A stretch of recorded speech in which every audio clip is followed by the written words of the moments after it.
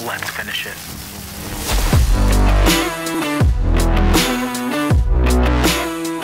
What is up, everybody? Welcome back to another edition of The Closing Pitch. My name is Spiker Helms, and this is a show about people, culture, and how to create a winning lifestyle. As I look at our little recorder to make sure that we are recording, I don't want that awkward moment where we completely record, and then I have to ask Raffy to come back to the conference room slash podcast studio.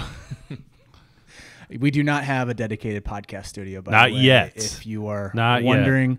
Um, that was the first question that Raffy asked. Like, oh, hey, where's the podcast studio?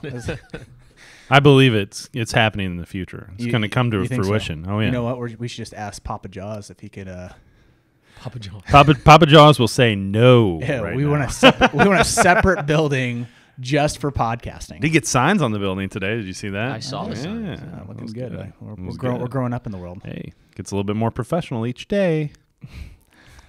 We have Rafael Lopez. That's a big league name already. I mean, you- you should have you should have played in the big leagues. Oh wait, you did. Just a little. Just a little. just just a, just a little Just a bit. little, just yeah. that little humble brag. Uh-huh. little pat on the back. Yeah. could have been more. Could have been less. I am very intrigued with this conversation because um, one, you're not a typical pro guy, in my opinion, um, and not a typical big leaguer. Like, there's some awesome big leaguers that I've met um, over the years, um, but if I just saw you at like a restaurant or just met you, I wouldn't realize like, oh, that dude played in the big leagues. Well, and I don't think he'd ever tell you. Yeah, yeah. yeah. I mean, if someone asked, I would. But really, yeah, I actually enjoy that. Uh, it looks that way. and one of our directors interviewed Jason Grilli, um, another awesome dude, just down to earth. It was a great um, conversation. Yeah, and it literally, he it was just common sense, practicality type of stuff. It wasn't like this rah rah. Like, hey, this is what it is. This is how it is, and um, and it's all right if you don't want to play in the big leagues or play college baseball. Like, we're here to actually promote the game and and make it better. Now, it is cool to see the big leaguers play and see how they really um, tactically go towards the game, but it's not the end all be all when it comes down to it. It's all about life lessons and seeing how it is. But the reason I'm excited about this conversation is that I want to talk about clubhouse culture. Um, I think in youth sports we have a little bit of a issue at times. Um, I wouldn't say issue, just the culture can get a little toxic. And if you're listening to this podcast, you know exactly what I'm talking about. Where it's um, We've yeah. all heard that story, right? yeah, it's always that it's always that story like, oh, did you hear about Johnny? And then then Johnny becomes Timmy, and then next thing you know, the parents get mad and um, Then the team blows up. team blows and, up yeah, and, it's a terrible, um, and then the kids quit, and then yeah. it's not a good situation. Yeah, and I, I don't I don't want to give um, parents some firepower. I also want to give the coaches some firepower, and obviously the players and how they can pr- be active and promote a solid clubhouse dugout culture. Obviously, in youth baseball, you don't have a clubhouse. Um, that was the going joke in junior college baseball, like, oh, we're gonna go to the clubhouse, Well, AKA my car. aka my car, and Locker rooms. Yeah, the and trunk. It's good because you played junior college baseball as well. You've literally seen every single level. Yeah, um, even indie ball for uh, for a short time as well. So in between big league stints. So yeah, kind of, you name it, probably seen it. Give us give us your background. Kind of give us like a little bit of a elevator pitch where you've played, your kind of path through professional, all the way up through um, professional. So I was like a you know young dude, loved baseball as a kid. I actually wanted to be a NASCAR driver when I was younger, not a baseball player. um, if someone asked me what I want to be, I'd say Dale Earnhardt. Uh, that was just kind of who I was as a kid. Parents would like you know, I wanted a race to be on every day, so they'd copy. Um, they would copy races and put them in the VCR. So that was it. But in the meantime, I would take swings with my dad with a wiffle ball bat, and then just played since I was five. Um, was one of those kids who did get a little burnt out at a young age and actually quit. Um, played roller hockey, some soccer, a little basketball, and then right when around 13, got back into the game. And that was a tough period for me because I stayed very small and never really grew until I got into high school. So when everyone was growing, I didn't want to play because I was like, it's an unfair advantage. Yeah. Honestly, I was Yeah. like, puberty's unfair advantage. But um, you know, decided uh, about seventh grade. All right, let's just take this serious again. Let's see where it goes. And um, you know, just slowly grew. And as I grew, the hard work I put in, even though I was smaller and everyone, started to pay off around sophomore year of high school because then I started to grow. So all those kids that were young growers who then got complacent were found to be a little bit in trouble with Mm-hmm. their playing careers, and that's when I was able to kind of blossom. And, give an idea of like how tall are you right now? Five eight, And on then- a, a very good day. I'm wearing the extra thick Yeah. spikes exactly to get myself up off five nine on online though. Five And nine. in high school, what were how tall were you? I didn't get to this height till pretty much end of my sophomore year, junior year, or beginning of In junior high year. school. Yeah, Wow. So recruiting was like yeah, it was that tough. tough. It was look at my dad, and he was six two, so everyone thought I was going to be this, you know, gigantic kid. And uh, no way. Your dad's six two. Yeah. what? How tall is your mom? Uh, like five three, five four. that's gonna So, be yeah. that's gonna be my kid. Yeah. Like literally, like I'm six foot, like and Shondi is five two. yeah. It's hopefully, hopefully they get the height. you Yeah, know. hopefully. But uh, yeah, just kept just kept playing, just just kept doing whatever I could, and always used that. What you're kind of mentioned, where like you never really noticed he was a big league player. Well, that's how I was as a kid. Was well, you never noticed he could play um, until I played, um, because of my size and not being your atypical looking ball player. So I mean, really just use that to my advantage at all times throughout college career, and then through pro, and then college. Being a South Florida kid at a small school um, everyone wanted me to either go to JUCO or or um, go extremely small school, and I, I thought I could play D1, and so um, that's not D1's not the end all be all by any means, but I thought I could, yep. and so BC Boston College recruited me pretty heavily, and they were st- in my mind it was oh I can still be in the Atlantic Coast Conference, let's yeah let's do that. Great school, academics are fantastic, and went up there, and things just didn't work out. I had seniors ahead of me probably even had some juniors ahead of me who were going to be coming back. They wanted me to pitch, um, and it's just I didn't come here to pitch kind of thing. And um, so went to summer ball that year and decided I was going to leave because I had redshirt that year, so it kind of worked out perfect. And had some offers lined up with some smaller D1s, some D2s, um, and kind of against my dad's will said like this is my plan and this is what I'm going to do and went to junior college for a year and then decided um, I was actually going to follow my girlfriend in Florida State, who's now my wife. And that was a part of the plan, funny enough. And uh, parents were maybe a little, don't base it all on the girl or anything, but uh, that was my plan. And I was very, very convinced and sold into that plan. And it worked out and went on to Florida State as an invited walk on. Uh, Oh, you had no money. no money. I had offers to other places, but I had to wait another year. I had to go Basically, back you, to you JUCO. you betted on yourself. Did you I- yep. contact that coach then? Um, it was a combination of my junior college coach contacting them Mm-hmm. and then them reaching out to me and, and then talking to them. Gotcha. Every other university wanted me to go back to junior college for another year, and I just would have preferred a third, a extra year of playing D1, Mm-hmm. being a redshirt sophomore, then junior, then senior, Yep. rather than just giving those two years at the end. So it was kind of a bet on myself that if I can't make it here, then I'm not going to make it to my ultimate goal anyway. Um, and not saying you have to go D1 to make it to the big leagues, but in my mind, I, that that was how I saw things. Um, so just kind of bet on myself. In that first year, they're like, "You're not going to be our second baseman," and I was really, really pissed, really upset. And I- at Florida State. at Florida State. Like we have a senior ahead of you, and I kind of got a little angry back, and then finally cooled down, and I went right to the manager's office, Mike Martin. You know, yep. Legend. Yeah, le- legend. yeah, you know, Yeah. very great coach. Uh, scary to sometimes approach at times because there's so much success. And Yep. uh, I said, "What do I have to do to play?" That was that was it. Well, what do I have to do? Said, "You're if you can catch, you're a guy." And t- give give a time frame of where where this was in Florida State's like um, program history. Yeah. So Buster Posey had just been drafted in the first round. They were uh, pretty good. You know, they were Super regionals every year A, and- a yeah. college World Series Yeah. appearance, and here I am, little five foot eight guy. and Hey, our next catcher is going to be Rafael Lopez. Yes, you've never caught before. We want you to follow our Buster, and that was scary, and, Yeah. and it still is sometimes. um, but it was at that point. It was I'm betting on myself. I'm sold into this. Let's do it, and and this is my chance. This is Mm-hmm. my chance. If I can succeed now, I may be able to succeed later. Yeah. So it's just kind of that attitude since I was a little kid. I'm smaller than everybody. Let's just do it. Like just just have at it. Buy into yourself and sell out. That's And really what it was. you you caught. So were you? Did you have to battle for a starting position, or you- Yeah. did you? There's another kid on the team, uh, Parker Brunel. We're actually still good friends. Um, where we butted heads for a while, you know, mentally and physically on the field, and he was the same year as me. and uh, he was actually on a, uh, a very large scholarship.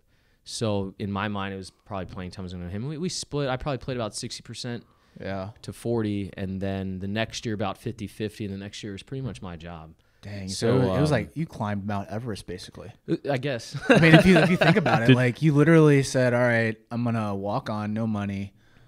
I mean, I don't I don't even know the tuition for Florida State, but cheaper than most places oh really? Yeah, Okay. which is in-state in-state Okay, so you had that going for you. So that was Mhm. nice. And then um, you are facing a guy that was picked up primarily for that position. mm-hmm. Did you catch it, JC? no i had never caught a i never caught a Good day in my life uh, never caught a Oh, day you didn't even life. catch in high school. nothing just i was only an infielder Oh, So you weren't supposed to make it, basically. How in the world did you react to that? If you'd never even played the Um, position. I mean, I know. after that the uh, But the I'm just thinking in my head, assistant like you're jumping into 93, 94 mile an hour fastballs that move In the ACC. in Yeah, the mean, ACC. it was- like, oh yeah, we're gonna face Miami. yeah Like, we're facing Miami uh, next weekend. So good luck. It was yeah, it was very much thrown into the fire, and you know the machine was my was my friend and enemy. Um, but I I had to learn off a machine and just catching bullpen after bullpen. During that time, I actually had two knee surgeries as well from get trying to catch. I actually hurt both knees and had two meniscus surgeries. So I'd sit on a stool, you know, very low to the ground, uh, a little like you know, little stepper for kids to get to their sink, and I'd catch bullpens on that and off the machine on that. just so I could stay. this is your sophomore year. This was my redshirt sophomore year, so third year of college, second year as a you know full honest- athlete. Yeah. Honestly, I've I've heard of pos- Jesus, bro. I've heard of po- I've heard of position changes all the time. Like an infielder goes to corner outfield, or some, or vice versa. Or you know, a guy who played on the left side now moves to the right side of the infield. I don't think I've ever heard of a guy who's never caught being told in a big Power Five conference, "Hey, now we'd like you to try to that position." So what's really cool about what you just said, and people I don't think realize, and this um, is a hair off topic, but there's so many parts of baseball that are all identical. Um, you're just doing them slightly differently. So everything's just a slight difference. An overhand throw and a sidearm throw is, is almost the same. One's hitting, one's throwing. Um, so when you have an infielder who's throwing sidearm well, um, they're you can actually teach them to hit just from teaching them how to throw sidearm. It's, it's very interesting. The footwork at shortstop when you're turning a double play is almost identical to the footwork at catcher. Uh, it's just a slight difference. Um, that footwork you have to get yourself turned to throw to first base as a shortstop is almost identical as getting yourself turned to throw to, to second base as a catcher. So they were able. How I use in my teaching now is similar. How they taught me was just like you're playing short and you're trying to get rid of it quick, just jab jab go. And so it was able. So they specifically translate- tailored it to you. They tailored learning to catch with infield phrasing, um, and that's how I teach. Is usually That's cool. or even a football player, like when you're down in this position, feel that same way with your upper body as you would football or basketball. Man, that is crazy. That's So cool. they were able to word things for me that could catch on quicker, and then it was just work ethic at that. so what was their recommendation when you started seeing like massive cutters? Um, do your best. uh, but we'd go to the machine, and he'd you know put on a massive cutter, and and I mean they literally took me to the cage the first day with the mask out of class. The next day after we had the meeting, and pulled me out of class, took me to the batting cage, went to the locker first, grabbed my infielder's glove, and in front of me threw it in the trash can, and then handed me a catcher's mitt with a mask. Um, and literally in street clothes, they were already, you know, sinkers, cutters. Here we go. Now, were you the smallest guy on the team? Um, that yeah, that year, yeah, yeah, every year, that yeah. so you're in a major role mm-hmm. and you're five eight, and they hand you you've never played catcher before, and they give you the glove and say, "Good luck, let's go win Yeah. some ball games."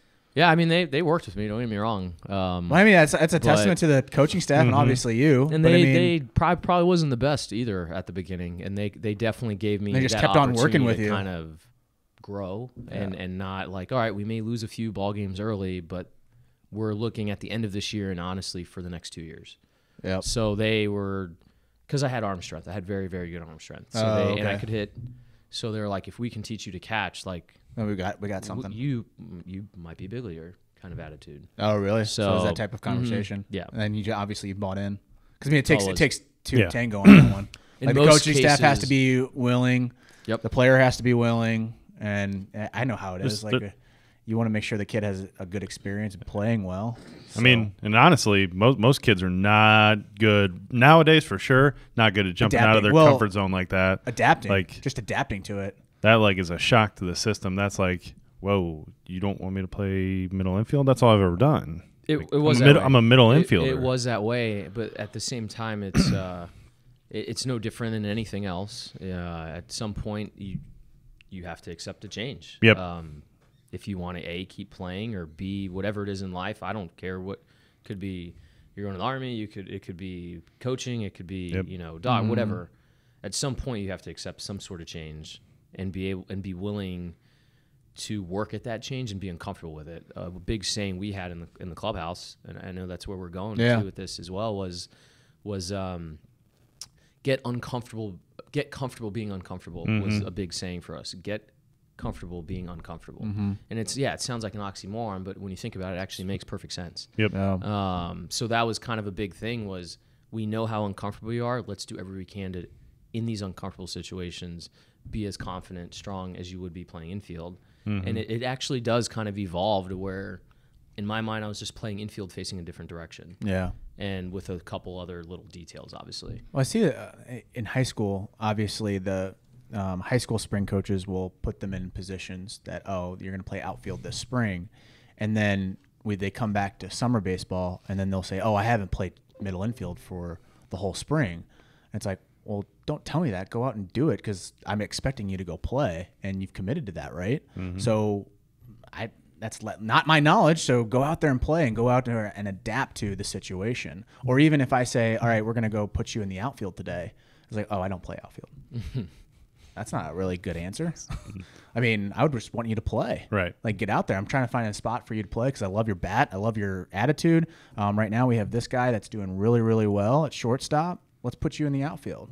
And I mean, it seems like a lot of players don't have that adaptability per se. I would agree. Um, I think part of it is un- being uncomfortable, um, and, and they also they want to look good for other people. Yeah. Uh, it's, we always want to look good for other people, whether work or however it is.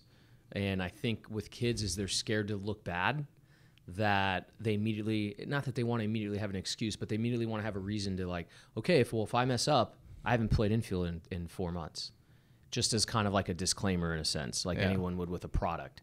So I think that's just a natural instinct. People is just to be defensive for themselves, but at the same time, that's when like you, at the end of the day, you just want to be on the ball field. Mm-hmm. And I think that's when kids, and you just go, yep, I got it, let's go. And if you make an error, you make an error. Yeah.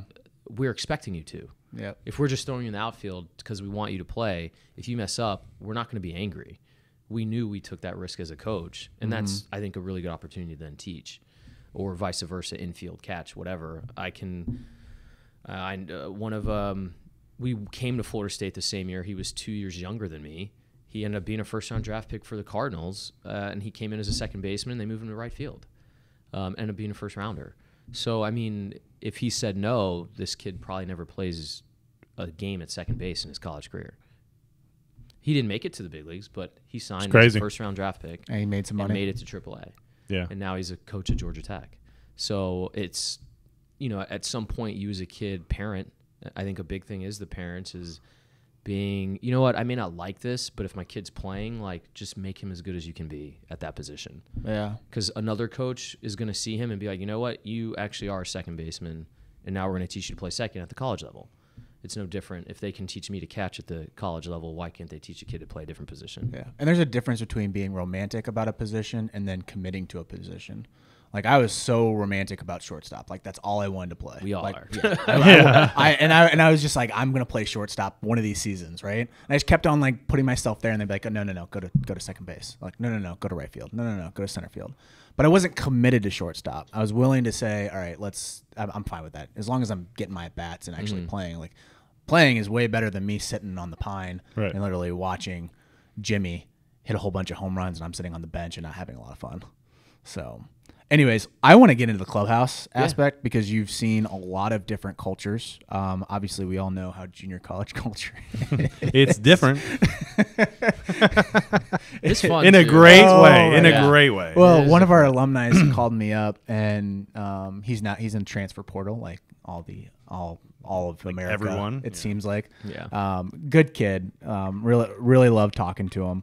But he's like, Spike. I mean, I thought you were so full of it on junior college baseball, but like, I don't know if this makes sense, but it was the worst place to be, but also the best aspect to be. Like, it was just weird. And I was like, it's junior college baseball. Junior college baseball. yeah. Yeah. It, it's the best experience you could ever um, get. I feel I like. I grew up in junior college. Let's put it that way. Yeah, Yeah, exa- for sure. exactly. Became a, a little bit uh, wiser. And you know what's weird is like when you get when you get to Division One, it's like you almost resent the four years that were there, and you're like, you don't understand. Yeah. You have no idea. No like you're very immature.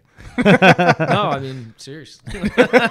It's it's true. I'm not trying to sound that way, but it's true. it's true.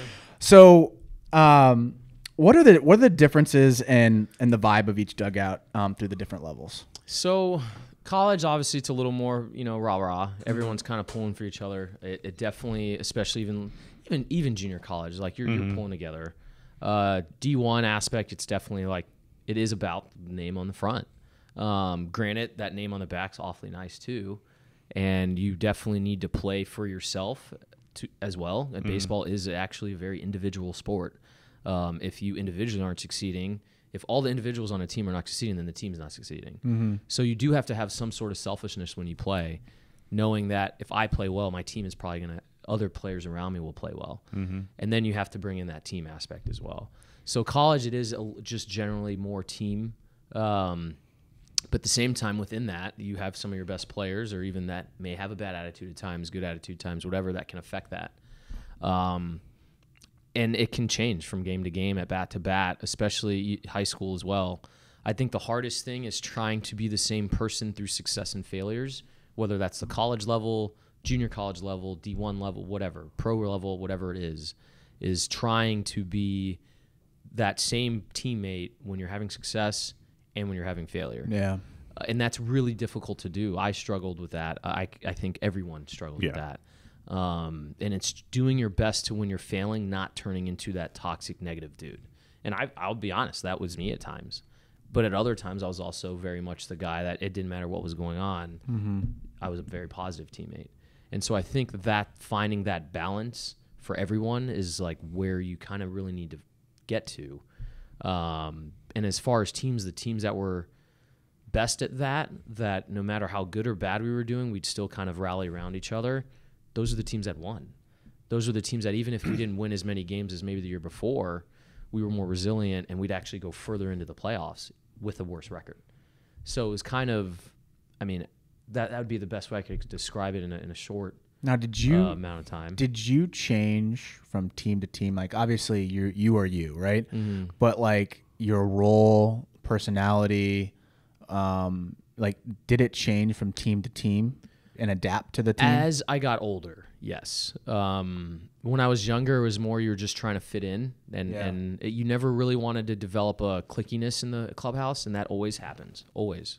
I, think, and I don't it's think you can avoid that. Yeah, No. and I think that's just human nature. Yeah, because you're gonna have your Um, little tribes inside of yep. your little community, Exactly. and then like So- obviously when another team comes in, then your whole team rallies together. But then like it's weird, you have like, these little tribes, and then when someone attacks one of your friends, you're like, whoa, bro, you can't do that.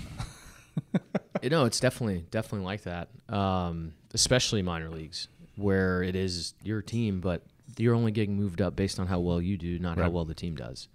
Um, partly if the team's doing well and you're part of that reason, yeah, the better teams I play in the minors, the more of those guys got moved up. Um, the worst teams I play in the minors, the less of those guys made it, and it sometimes wasn't a talent thing as much as it was, are you doing well as a you know, are, is your team winning? When the team won, usually other players were doing well. Um, so I didn't try to. I tried to just fit in, kind of be a little bit of a chameleon at times. Are you talking about in pro ball? in pro ball? Yes, college too. I mean, college is still very much the end goal is not just okay. I'm going to get my degree and graduate. For most guys that go to a high D1 that I did, um, most guys when they go there, even if they're not very good, uh, I mean, we had a couple sidearm walk-ons throwing 78, and these guys are getting drafted by their senior year, making it to high A, double A, way further than they ever should have gone. But you never know. I mean, Mm-hmm. a couple other things go right for this kid. Maybe they get a cup of coffee in the Yeah. So I mean, the end goal was always base major leagues for me, and and whatever happened happened. But even in college, you had to find a way to fit in. You had to find a way to, okay, this is kind of the culture. Let me somewhat You're trying to find your spot. Yeah, because the culture's already myself, let's- established. Let's, already fit in exactly. So it may change from class to class. It may change from injury to injury. It could it at any point can change, and it's just always trying to find a way to get it back to where it was, and you already knew where that was going into the season, Mm-hmm. and not allowing everyone to just kind of fall down that hill. Um, it's literally you're climbing, you're constantly climbing a hill, and if you just instead of taking five steps back, let's just take 2 Mm-hmm. and that was kind of how the culture worked. It was we always knew we were always going to at some point become negative. How can we stop that and get back to where we were? That's Um, what I find interesting with the difference between college baseball and professional baseball is that the college coach is there for a, a while, right? But I mean, in the minor leagues, you could have a different manager almost Every diff- year. every different year, Yeah. and it feels like it's like a clean slate for the culture. It's almost like you look to the vets. The vets are like the people that establish the culture. Yeah, I mean, I had shoot at least I think going into 2018, I'd already been in 18 different clubhouses just professionally, and then there was another two or three that year, two that year with uh, big leagues in AAA, and then the next year in AAA. So what is it? Nine, nine was that 20 ish, 21, whatever it is. Um, so at that point, like yes, the managers and coaches do, and definitely a more positive coach who allows you to just kind of play and, and just go, just go, Yeah. just show up, play hard, work hard. Um, those guys usually had more successful teams.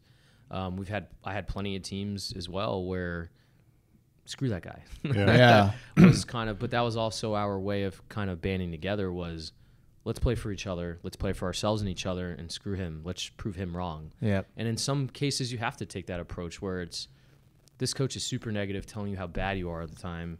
Just prove him wrong. Yeah. So then the lead, the leader, the leaders end up stepping up, and then you end Yeah. up going to that just, person. Just prove them wrong. Um, and sometimes with those coaches, that is their way of coaching.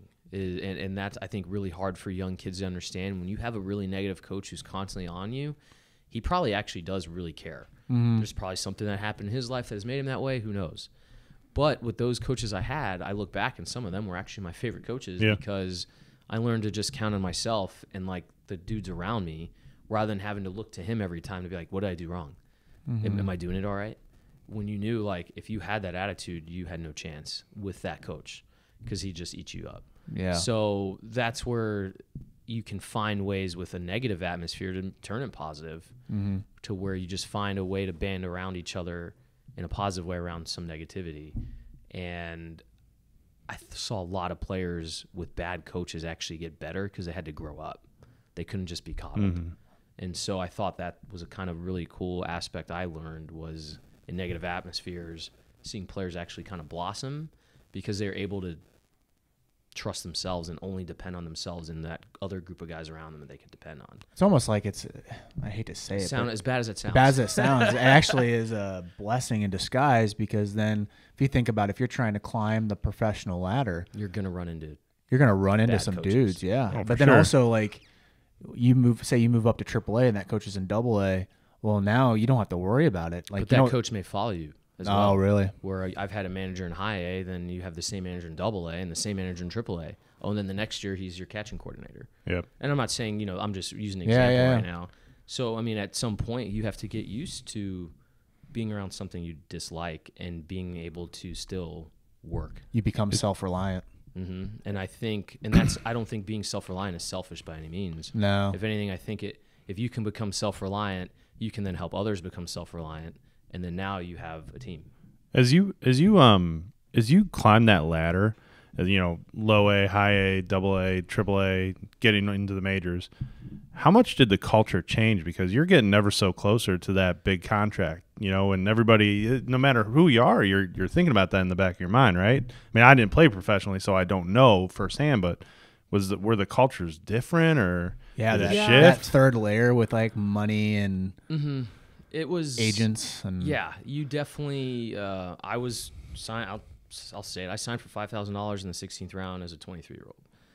Every, pretty much every catcher I played with was, if they weren't a higher draft pick, they at least signed for more money. So that was always in the back of your head, and you also knew that the management paid attention to that. Um, so well, the everything's out in the open too, yeah, right? Like so, everyone knows. everyone knows yeah. everyone's salary. Everyone, everyone knew, and when That's you what I first find so everyone's crazy. talking about. Yeah. it. you know, it's just like a high. Your where, bonus where you baby, To? Yeah. you well, you, to? well, you even know? like Yeah. even like the big leagues. Like if you think about like, oh, that guy that I'm facing right Yeah, now you just signed a ten million dollar contract. yeah. Yeah. Or I'm trying to crack the lineup, and that guy not just signed a three year extension. Mm-hmm. It in the minors, it's definitely there, but you still once maybe in the clubhouse it can get at times a little chippy and when it comes to that stuff. But at the end of the day, we all knew when we stepped on the field, like we were a a team, and our coaches actually did a very good job with telling us like all the teams I played on that did well, that's where the most of us made it to the big leagues. The guys that the teams that didn't do well, the that lesser amount of guys made it and we're like, well, what about? We'd ask coaches, what about you know, did were there people who you thought weren't supposed to make it who did because they're on a better team in the minors? Yes. So we were able, even when you knew you're competing for some of the same spots. Well, if I don't get called up with you, um, there's 29 other teams. Mm-hmm. There's 20 other teams watching every game, so you're able to find a way to still bind around each other to play well knowing well so what if you get the chance over me i might get the chance with someone else or you may get hurt in a year and now it's my chance and so that was kind of the attitude you had to try and have and i had a decent amount of coaches that that's what they preached. And so that was able to transfer over in the clubhouse was hey at the end of the day we all have the same goal. Let's all make each other better. Let's help each other out. Because if yeah sure selfishly i don't want you to make it at this facility because i want to make Mm-hmm. it but there's 29 other teams and just because you make it this year doesn't mean I can't be the guy next year. Yeah, and I, I think Or that's next such a week. good aspect. Like I think that's the professionalism aspect of it. That you Yeah. they, that at the end of the day you are a professional, right? And I mean that's the maturity level that you have and I mean deep down you understand that a good clubhouse culture is going to make everyone play better. If everyone plays better, everyone gets more opportunities. Exactly. That's the same So- thing with high school baseball. I mean, if you play well, you're going to get more looks and get more more people around you. And if you put on a show, like we were talking to Evan Pratt last uh, last episode, and he's like, "Man, if, if they're playing really well and I enjoy watching them, I'm going to go back and watch that team. Like I- I'm going to. Over and over. Yeah, I've seen it a million times at any of those tournaments. It's that team that's loud, that's energetic, that's Just putting on a fun, show. yeah, that even it- even in and out and or ground balls in between innings, they're joking around, throwing the ball around, like like looking really good. I mean, those are the guys. If you look behind the stands, that's where all the college coaches are. because at the end of the day, we're all fans of the game, right? So we want to see the game played really well, and I'd we'll- agree. We'll be willing to go watch watch it. Like Mm-hmm. my dad is 69 years old and he still loves watching baseball. He'll Yep. just come out and watch high school baseball just because. And if it's a if one of our teams isn't doing well, he's like, I'm gonna go to another game. Mm-hmm. So and it's and that's how college coaches are. I want to see good baseball. If you can show me good baseball, I'll stick around. Yeah, I mean, and it was, and to answer your question a little bit more with like, the, did it change? Like, yeah, every big league change, every big league team had a different culture. But at the end of the day, no matter how much a guy was making or how little a guy was making, like, our butts are on TV being analyzed and overanalyzed by everyone. So like, your butt's on the line, and so when your when your reputation's on the line, when your everything you've put into that work as a young kid's on the line, even if there's a bad culture in the clubhouse, you still got to show up. Yeah. And so, and I think when guys learn how to just show up and play hard, that culture changes. Yeah. And it gets better, even on a, in, a, in a bad environment. Um, but the winning environments, like they showed up every day, like expecting to win. The losing environment showed up every day, expecting to lose. And sometimes it's that simple. Uh, whether it's an old veteran guy or a young guy, I, it depends. But the guys that showed up and worked hard, you saw more guys show up and work hard. And so I, I sometimes think the culture is not so much is it a are you who you know rah rah are you this or that. If other people see someone working hard, I think more people are willing to work hard with them. Next thing you know, you have two people working hard and they like each other, even if they can't stand each other. I respect him; he's working hard, and now you get three, four guys, five, six guys, seven, eight guys doing that.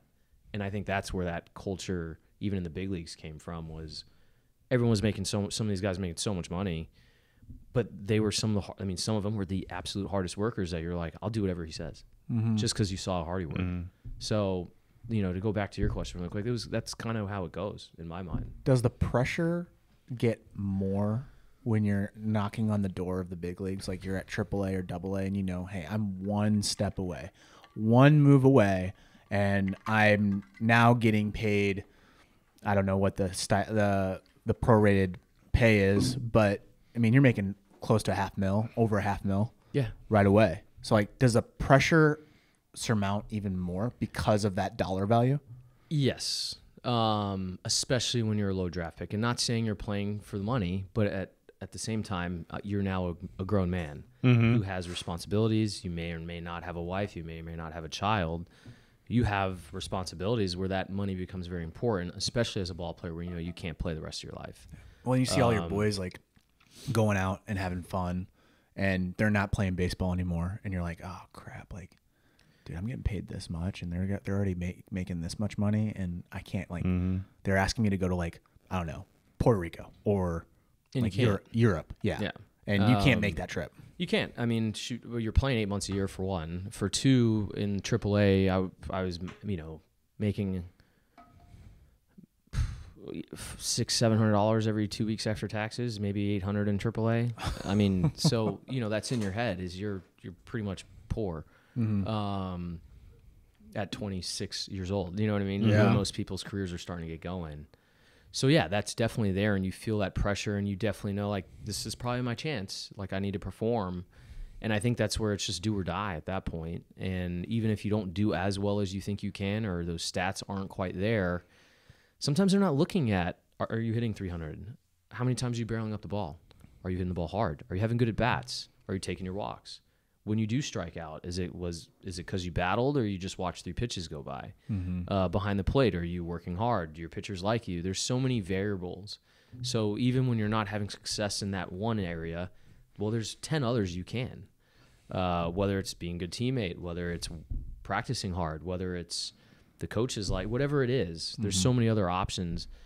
So you would try to deflect that pressure to a different area if you were doing poorly. You're like, all right, well, yeah, well, look at all the other things I'm doing well. Um, but you feel that pressure 100%, um, just like you would trying to make a high school team. Yeah, I think it's the same pressure, and you just as an adult, it's no different. Sophomore playing varsity in high school for myself, there's pressure every day to show up and play. I wanted to prove everyone right that a sophomore can be on this varsity team and start and do well. And that pressure doesn't change. You're just older. It's the same pressure. You're just older, more mature, and maybe have a couple more responsibilities. So I think if kids can find a way that even as a 12 year old, that same pressure to win that tournament or that same pressure to have a good at bats, have a good attitude with, and worried maybe your dad's going to mm-hmm. get upset or something is the same pressure I had in the big leagues. It's just there was a little bit more of it, but now you're an adult. So that pressure really shouldn't change too much because now you're old enough to handle things a little differently. So when you made your debut, did it feel like when your family came to see you, did it feel like just a normal day, like youth baseball? Like it was in like a, some regards, it did because you know at the end of the day, you're just showing up to the field and you're Yeah, like, yeah. if if my name gets called, I got to be ready. So you really do, but at the same time, yeah, you have everything going on in your head. Um, for me, the debuts weren't. Uh, I mean, trust me, they were very, very special and amazing. But I knew I wasn't going to play very much. So for me, it was like, okay, this is just really, really cool, and I get to watch, you know, really good baseball. I might get a handful at bats. Um, so for me, when things got very interesting, as far as okay, like this is it, was in 2017 with the Blue Jays, where I wasn't just there to catch a game or two and have maybe 10 at bats in six weeks. Like, hey, you're the guy back there. We're running you out there every day. This is your chance, you know. And first first series was the Yankees. You know what I mean? Like playing the New York I'm Yankees. facing Yeah. Tanaka, and and you know, like I've got Judge rookie year. I've got all these dudes. I got to try and help Get you know, out. Yeah. get out. and so that's when. So how do you It- strike Did out you, Aaron did you Judge? just feel Yeah. like look at Judge and be like, "What's Oh, up, I mean, literally, you're just like, and a lot of these guys you play in AAA in the minor leagues, so you've grown already up- seen you've them, kind yeah. of grown up with them. Yeah. But now, you know, there's forty thousand people watching, and if you mess up, you're on E ESPN's bloopers. You know what I mean? Yeah. So, um, it just that's when things kind of changed for me. Was okay, this is what I expected the big leagues to be, um, rather than just this is really cool.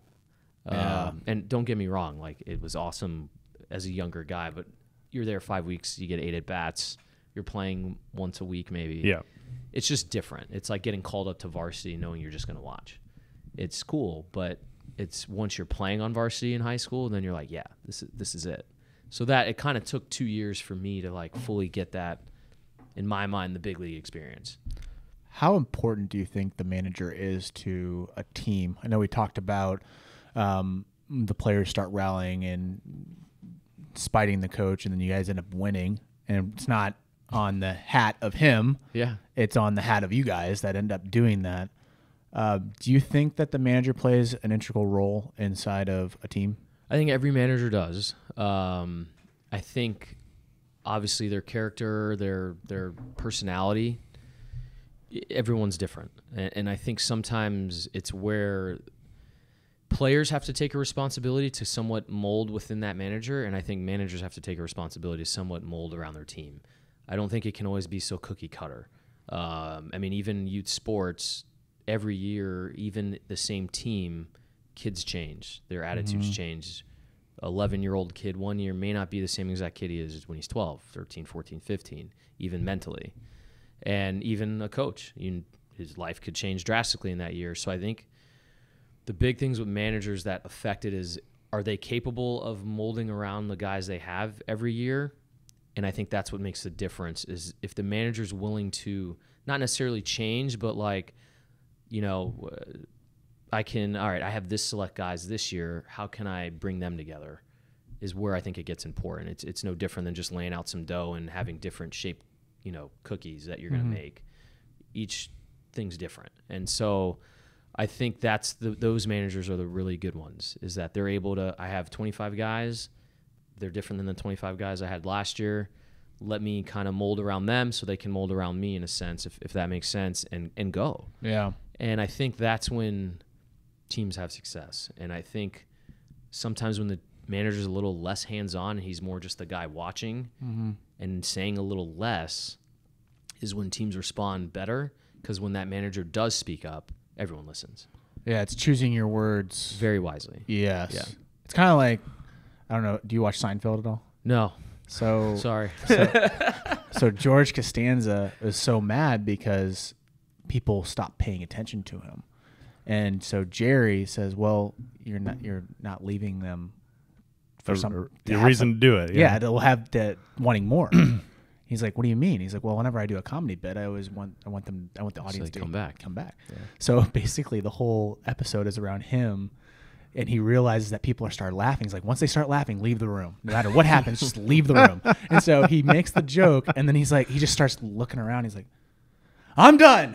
he just leaves, and then he like he ends up getting like promotions and starts getting higher up on the ladder in his job just because he's leaving right when he he should be, and then ends up catch, ca- ca- uh, catching him on the butt, or he's he should be staying there. And he's actually he leaves at the wrong time.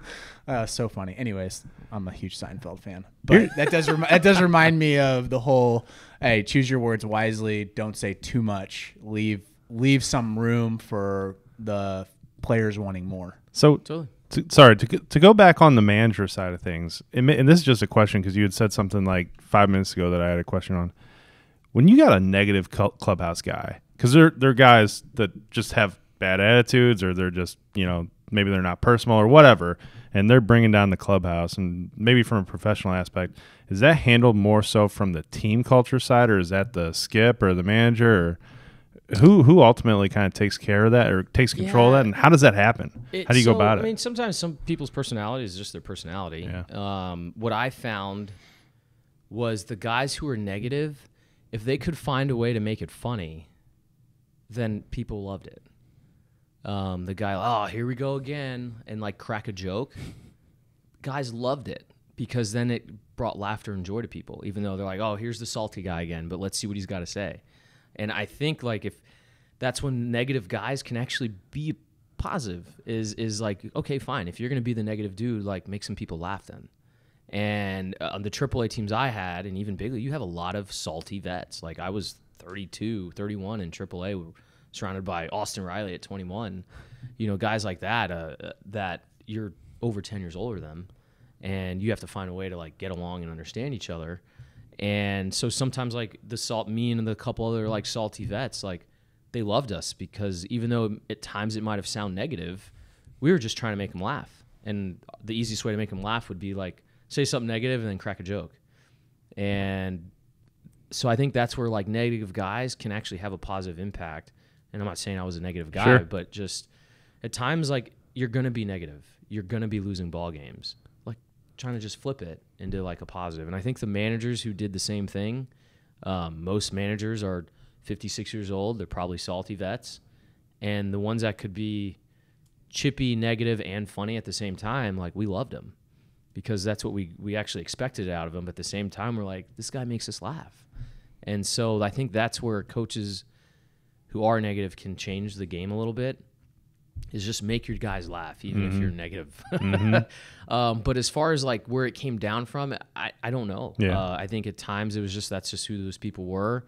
If maybe a guy was getting too negative, like yeah, uh, another vet would pull that guy over and be like, "Yo, you have to change something. Like just do your best to work on this. Practice like anything else." A manager would maybe call them in the office, "Hey, this is what's going on." Blah blah blah. If we had a negative manager we just didn't like, it was hard. It, you weren't able to really just go tell him. Did uh did you ever have like a clubhouse cancer guy who was just brutal, like nobody wanted to be around and it just brought down the team? Yeah, I mean, I think every team probably has one of those, Yeah. or at least a partial one of those, and I think that's where same thing goes. If you can just get in that guy's head to be stay yourself, if you want to be that guy, fine, but just find a way to have like some sort of positive impact. Uh, but most of those guys kind of weed themselves out. Yeah. teams don't want them, and next thing They you know, exile themselves. yeah. So at the, I mean, if a kid's not willing to change or teammates not willing to change at some point, like unless you're that good, they're just gonna get rid of you. Yep. Um, so I think if that's one thing kids can take away is if you are one of those negative people, you better be really damn good. Yep. And if you're not, no one's gonna want you. Right. And I think I know I like it feels good to be wanted. So I think that's maybe an aspect people can take is in baseball, like I want to be wanted by my team. How can I do that? Yeah.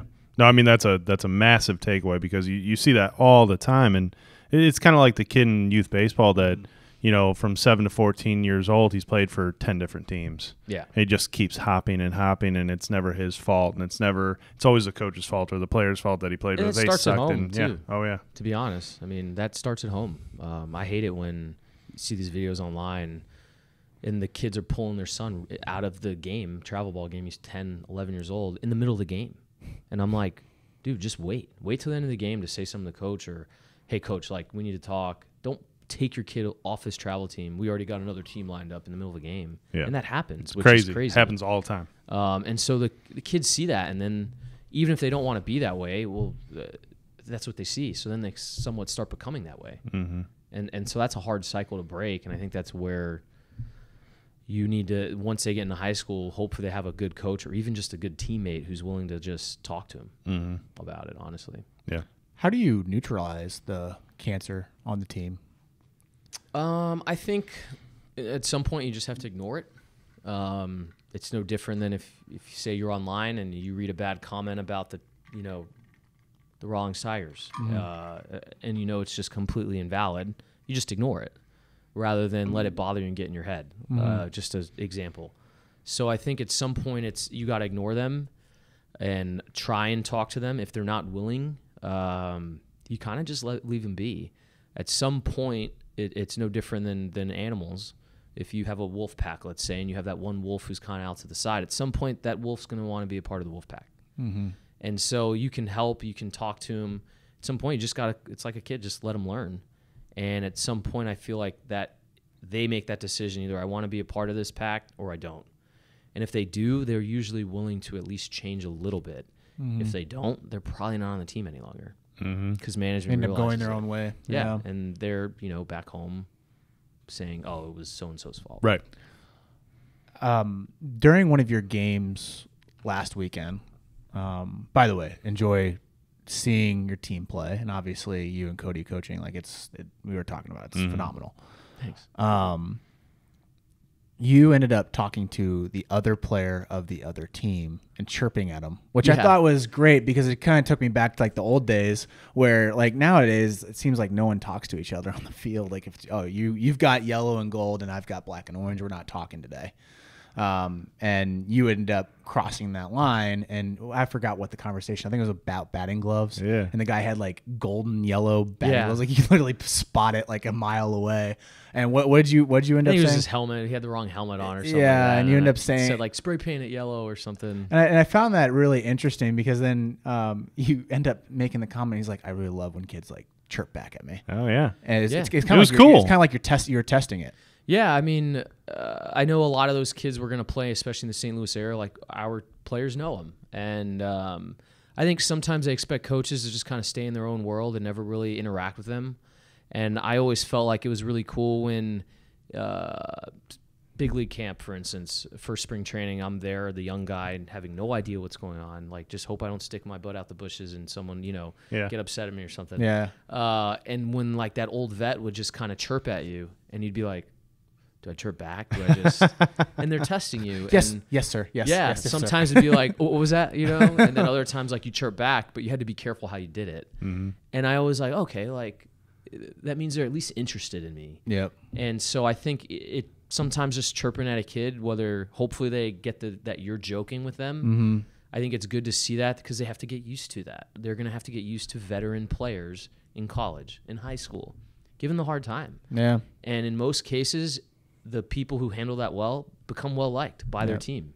And I think that's like can sometimes actually create a really good culture. Is And you weren't being a dick about it. It was No. just more of you wanted to make light of the situation Yeah. that was happening. yeah, his coach was giving him a hard time. Yeah. and, And, the coach was and, it, and the coach was having a fun time as well. Yep. And you read the situation right, and then and then the kid read it read Yeah. it like He was awesome. He just Yeah. he rolled right through it, and it was it was good. Yeah, was I really just sometimes I, I think just talk to them like you would anyone else. And for me, sometimes that's chirping at them. Yeah. I don't think kids expect it, and I think they grow to like it because then they're like, oh, I can like you know, me me and my coach can go back and forth, so I can give. I mean, you probably saw I give my players a hard time. Yeah. but it's usually very loving in a sense or a joke, and then I go into a teaching moment. Well, I think it's just the world right now is just so serious. Yeah, Like, everyone's it's offended by it- everything. Yeah, everyone's Oh. offended You by know. everything. It's very serious, and then when you're able to make a joke or light of a situation inside of a serious moment, it really makes the makes the makes the game a lot better.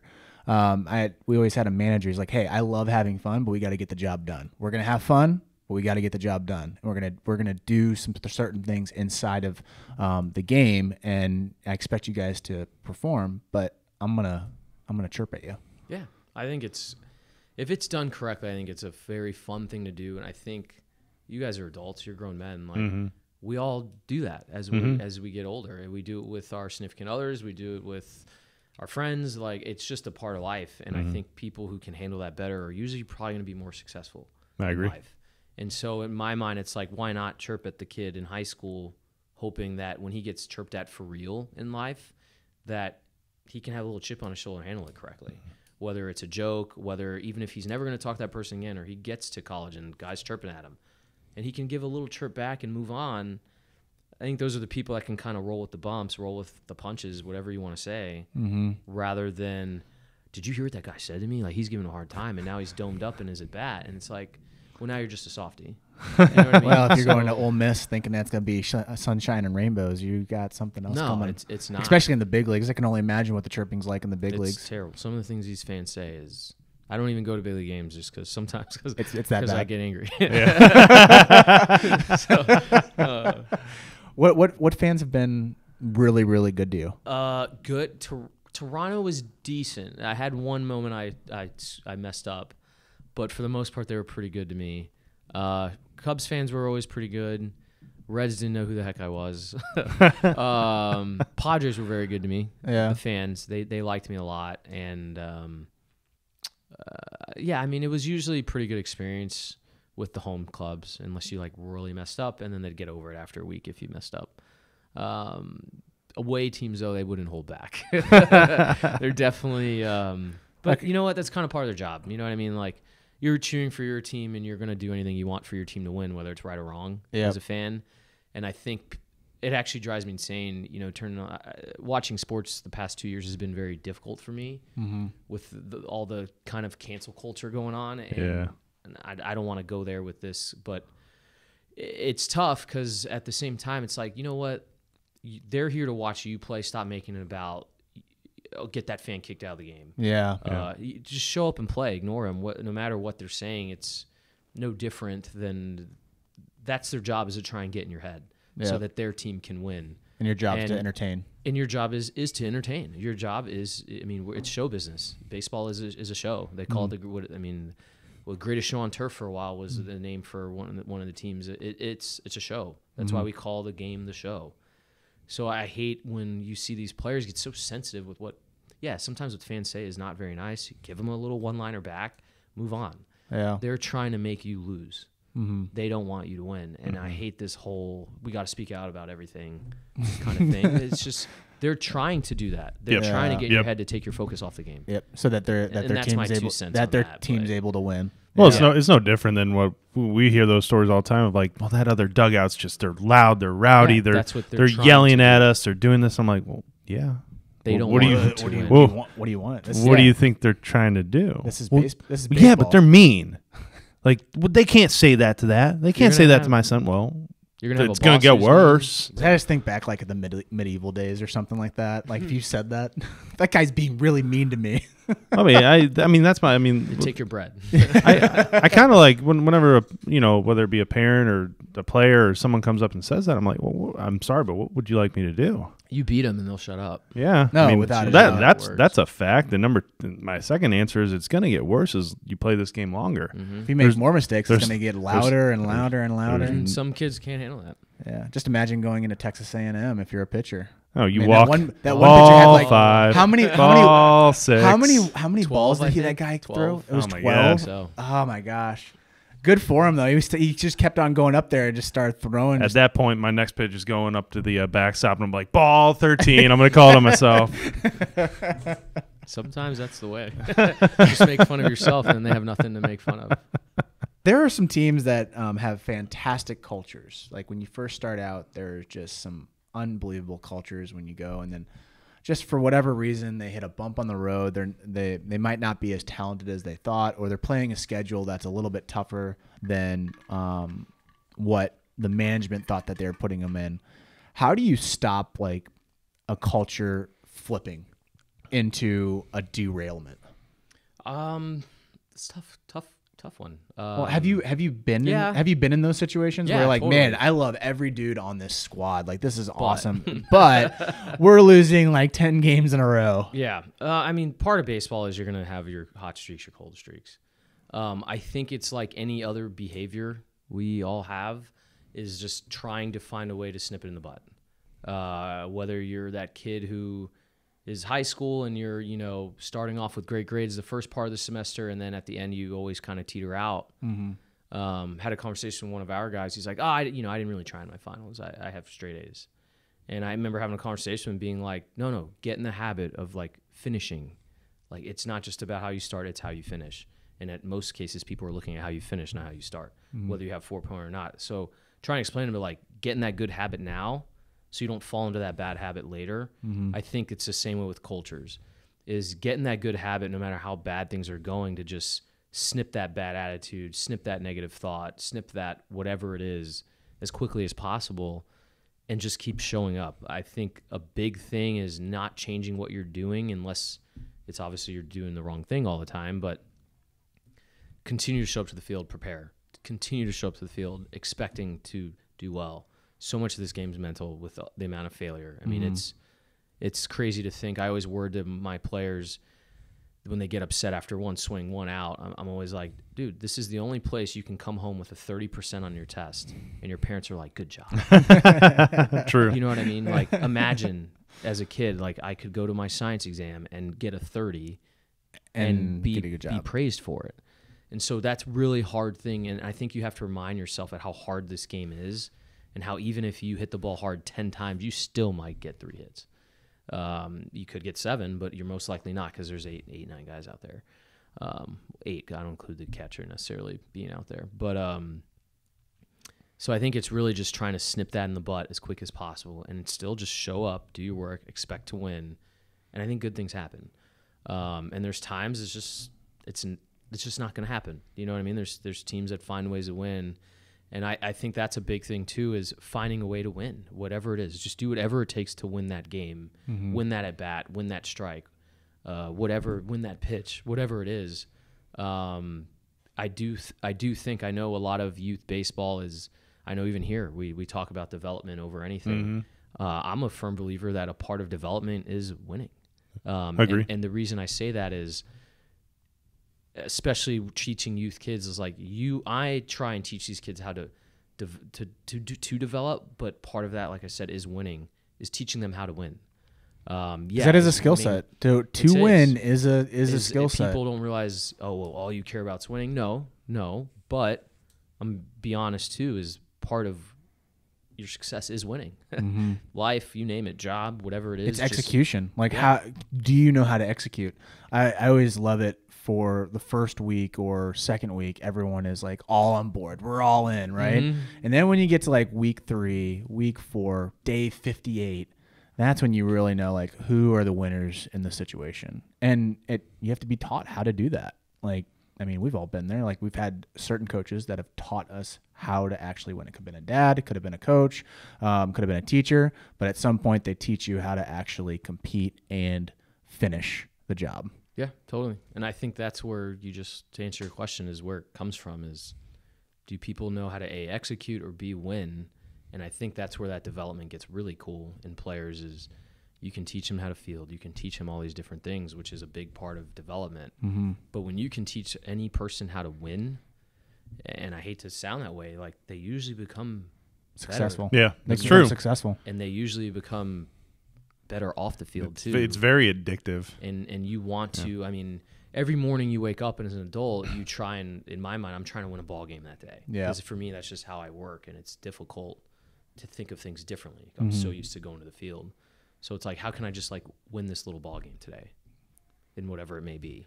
I think we're the separating factor for a lot of coaches, like really top end, like legendary coaches, is getting a player to know how to win in a pressure situation. Like when everything is completely against you and you've just got lit up um, three runs and you have to go back out there and try to get another out and then hopefully your offense can kick it into high gear and then you can come back out and win the ball game. I think that's where like really good coaches cut their teeth is is that situation because it's really tough. Like when you have a player that misses a ball and then he has a lot of pressure on him and then you try to figure like he doesn't know how to handle it, he just breaks down. I think that Yeah. goes back to like the example you gave about talking to the player about the the last test of the year. You just have to teach yourself to win at everything. You have to take that just as seriously as the first one, and then it becomes just second nature. That's that's the Nick Saban's the world. That dude does. That dude will. If you played chess against him, he's gonna kick your ass yeah, at it's chess. competing It's no. There's no difference. It's he's showing up on time every day. That's a win. He's competing at every single thing he does, and they don't know anything different. They Yeah. just they just don't know. So those situations come up. It doesn't matter. It doesn't matter that I've just messed up three times in a row. I'm going to win this one. It makes And no. He might difference. have not even And had- that's- and he might have never played chess before. Yeah. And he's like, "Have you ever played chess? Nope, but I'm gonna beat you. Yeah. or at least try yeah, I'm what I at least try. I'm gonna try to beat you. big saying. Um, you guys might have heard me this weekend, and a couple of guys on the team were like, "Ref, I've never heard people, you know, say that before." I'm a big. My little saying is, "So what?" Mm-hmm. Like you were mm-hmm. just mentioning, I'll just they mess up. I go, "So what?" Like you'll hear me yell it. They swing at a bad pitch. So what? Mm-hmm. Next pitch. Like that one's over. Win this next one.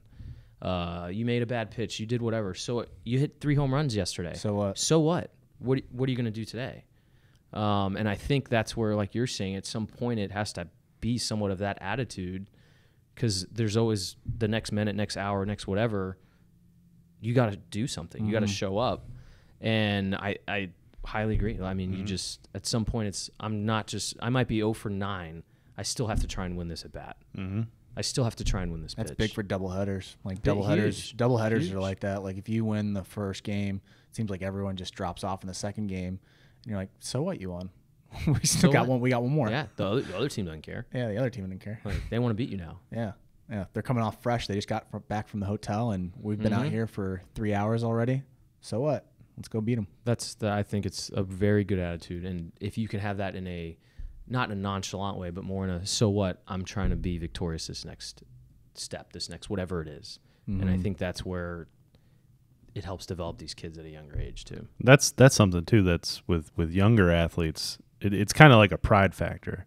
Yeah. and it's it's hard to teach those guys that. But the ones who get it, man, th- that's such an asset that they don't have any clue how Im- important that is. And they become so resilient when Yeah. they when they're able to do that and they're able Yeah. to unlock that. It's unreal. And It, it goes it goes back to like the cancel culture, just like so what, move on, um, and because you're gonna get into situations that are worse than this one, Way Like, worse. and- Oh, like yeah. just adult, like just thinking about like just life. bills. Yeah, everything. I mean, Dude. everything. And if you're able to click that, so what, dude, you you're unbeatable. Yeah, You're have a huge unbeatable. leg up on everyone. It's Yeah. it's really neat when you see a young kid figure that out and kind of get to that maturity level and just Like just very early on. oh yeah. And I've seen it. I've seen it at different ages. Uh, you know, I mean, I've seen it with twelve year olds. I've seen it with seventeen year olds. I've seen it with a lot of different guys, and it's if when that when that light bulb clicks, it's like rocket ship up. Like Even legit, they're not the most legit, talented player. legitimately Yeah. rocket ship up To the it's moon. crazy. Yeah, there you go. Your, your favorite phrase. to the moon. We all knew what it meant. Too. this conversation has been awesome. I want to get you back on for the Tiger interview series. I want to get really specific on just just the skill side of things. Um, I think it's just very valuable to hear it from the big leagues, but also hear it from um, a, a journeyman like yourself, going from every single level because you rarely have that. Usually, if you're a big leaguer, you're either you've played minor league baseball, but you didn't play college, or you played um, four year and you went straight to professional baseball. So there's like there's not many guys that can say that they went JUCO, four year, different schools, and then went to um, minor leagues and the big leagues. Um, but the last question I have is um, it's a culture thing from from a professional level is like why do you think MLB guys are struggling with coming back into the game on the youth baseball side because this is what's impressive about you is that you could be we talked about this off camera is that you could be pissed off at the world about baseball because you're still not in the big leagues right? Or you can flip the script and then you're giving back to the game. Because I, I rarely see big league guys in coaching at even at the youth and even high school level um, they're either doing it from a distance because they want to give back to the game, but they're still they're still dealing with some stuff that they don't want to get back into it into it. But there's just a select group of guys that do that. Why do you think that is? So I think it, it does depend on how high of a caliber that big league player was. Um, there is a lot that goes into. I think players do get very bitter at the end of their careers, um, whether it's fans or whatever it could be. I mean, some of these guys. I came through the minor leagues with Kris Bryant. We played in the big leagues together, and like this guy can't go to Starbucks without being stopped for two hours. True. So I think sometimes what happens, these guys are like, if I go coach youth baseball, I won't like. I literally am going to be in the spotlight again. And now that I'm done, I don't want to be in the spotlight because you're going to have parents constantly going up to him. Can I get a picture? Can I get an autograph? So they Things get like burnt that. out on it. So I think they get a little burnt out of constantly having to be in the light, and um, I think that's maybe easier with kids. But when the adults get involved, then it gets a little it gets annoying. Um, I, I think for those players, I, I think the other thing is some of these guys. It, it's because it does become a very much a business that they're maybe scared to lead these kids into this business. Um, I think people don't realize how much of a business it becomes, and, and you do somewhat become cattle, where you know you're just a you know you're stock, and they're just trading you, selling you as they please. Yeah. And, and I think that's something you just have to accept. Um, that doesn't mean it's necessarily the best way to handle things, but I think you have to accept it. And so I think with major league players coming back, it's partly that. Um, it kind of goes back to something we said earlier that I would never know you'd play in the big leagues. And I love that because I can go to Smoothie King, I can go to Starbucks. I might occasionally randomly be like, hey, did, are you so and so? And that, but it's very seldom, especially the further away I So am you from love that. You love that. I love that no one knows who the heck I am.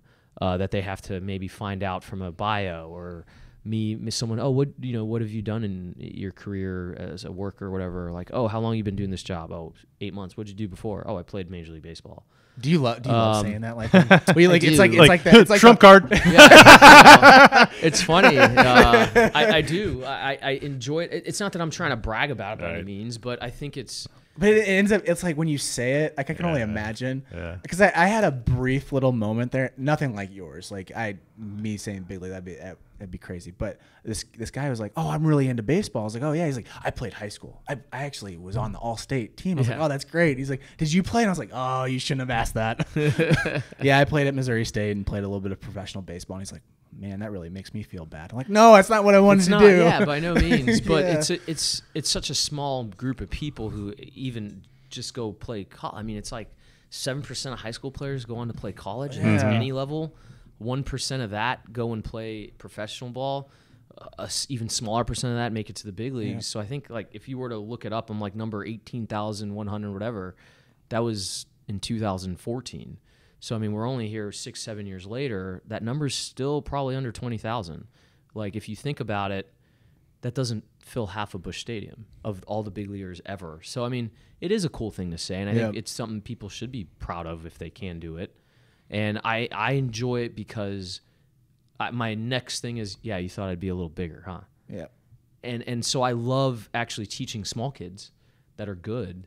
Um, that that small eleven year old who's you're like that's a good player, Yeah. and I'm like just just wait, you'll grow, keep working hard, like don't get down, and so you dev- you open up this whole other chain to all the little kids who are like they're not six feet at twelve years old, they're not five eight at twelve years old, they're four eleven who are really good ball players, and now they might have quit because they got sick of it, or maybe they don't continue to develop because they're like, I'm not as good as these guys, or maybe they're not on the top team because they're smaller. So now you open up this whole little, you can unlock a little more out of them because they're like, oh, like this little dude playing the big leagues, and then you go, I show them, I'll be Yeah. like, hey, this is me hitting a home run in Fenway. Yeah. That's you, yeah, yeah. I'm five eight, man. Yeah, you can do Like, it too. You can do it too. So it's really cool to sometimes, and even the small kids, where I'll get, or the big kids, hey, you're tall at 12. Like we had the 14 year old commit to Mizzou. Yeah. I said, congrat. Walk, walked up to him, hardly met him, maybe once or twice. Said, congratulations, that's awesome. Doesn't mean a thing. Yeah. Because if you get complacent and stop working, that little dude on your team who's really talented, he's gonna outplay you. Mm-hmm. Next thing you know, you're a senior out of the game, and he's the one taking your spot. So then you can unlock a little more out of them. They're like, oh, like yeah, that is a big deal. But you know what? I still have five more years to play before I go to college. Right. So like I like using that aspect at times with parents to maybe unlock a little more out of kids just from a mental side. I also think a lot of people don't understand like the purity of the game is really at that youth level. It Like, is. It, that's where It's the best. I was I was at a camps this morning. Um, we we run camps on our balls and strikes brand, and it was very refreshing to get back out there. And literally, you have like people make fun of this. You had kids playing in the dirt, but then you'll have this other kid that's like talking trash to the other kid, and then there's these two there's these three great kids over here like just grouping up, and then all of a sudden the ball's hit, and then everyone's back into back into the game. Like that's what baseball's about. It's a sandlot.